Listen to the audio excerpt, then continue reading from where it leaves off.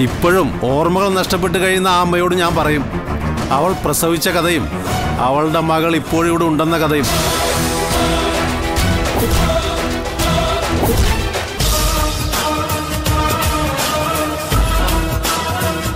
അതുപോലെ തന്നെ അവന്മാർക്ക് ഒരു അന്ത്യമുണ്ട് അതിനുള്ള കാരണങ്ങൾ വീണ്ടും ഉണ്ടാക്കിക്കൊണ്ടിരിക്കുക. നമ്മളെ ഇങ്ങനെ തിളപ്പിച്ചുകൊണ്ടിരിക്കുക. ഇതെപ്പോഴും എന്റെ കയ്യിലുണ്ട്. മരിക്കാതിരിക്കാൻ. അങ്ങനെ മരിക്കാതിരിക്കും തോറും നീരജയുടെ തകർച്ചയുടെ ആക്കം കൂടുകയാണ് എന്ന് വേണം കരുതാൻ.